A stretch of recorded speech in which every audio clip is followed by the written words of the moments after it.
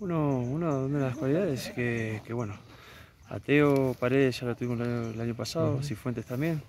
¿sí? Son jugadores que tienen experiencias, eh, entienden, entienden el juego y eso se hace mucho más fácil. ¿no? Después es trabajo, es eh, día a día, el día a día, el, trabajar con conceptos. Eh, la verdad con los profes, las planificaciones que manejamos también es, es nuevamente vamos trabajando en cuanto a eso, a de pequeños detalles.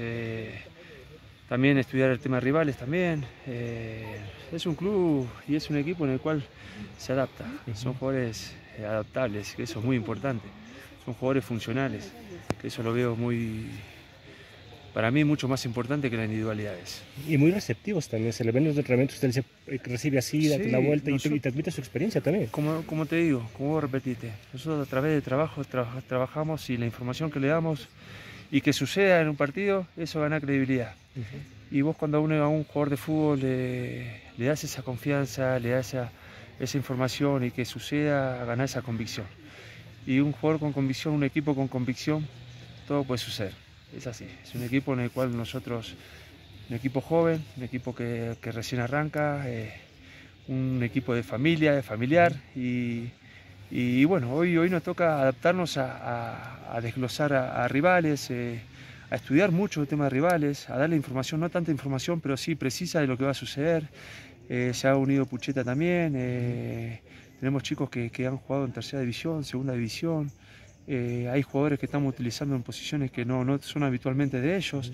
Entonces, es eso lo que el compromiso que desde el grupo, la convicción que mediante el trabajo, mediante la información que ellos puedan lograr, todo puede suceder. Y lastimosamente, y bueno, no lastimosamente, ¿no? O sea, eh, todo partido que nosotros eh, eh, jugamos, ya el otro día ya tenemos la información de, qué sucedió, qué cosas mejorar y ya planificamos para el siguiente partido. Entonces, a medida que en la semana vamos trabajando, vamos haciendo puntuales esos errores que tuvimos para seguir perfeccionando, ¿no? Yo creo que la perfección no existe, pero si, si, ellos están convencidos de lo que puede hacer, el tema de corrimiento, el tema de cobertura, el tema de, de todo concepto que manejamos, eh, creo que, todo puede suceder. Y un equipo equilibrado hoy en día en el fútbol ecuatoriano también eh, se puede lograr cosas importantes. Solamente con, con, Pato, conmigo, con, Pablo también, que, que asistente también.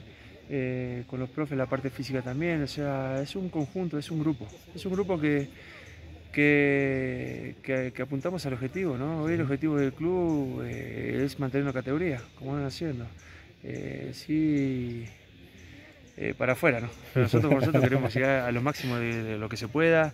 Eh, el grupo está, está, muy bien y yo creo que es eso, es, armar el grupo es lo más importante. Cuando está convencido, el trabajo en la semana se hace mucho más fácil, cuando tenemos similitudes en cuanto a profe, a pensamientos, eso hace mucho más fácil. Entonces creo que trabajar en un buen ambiente eso hace, hace un plus.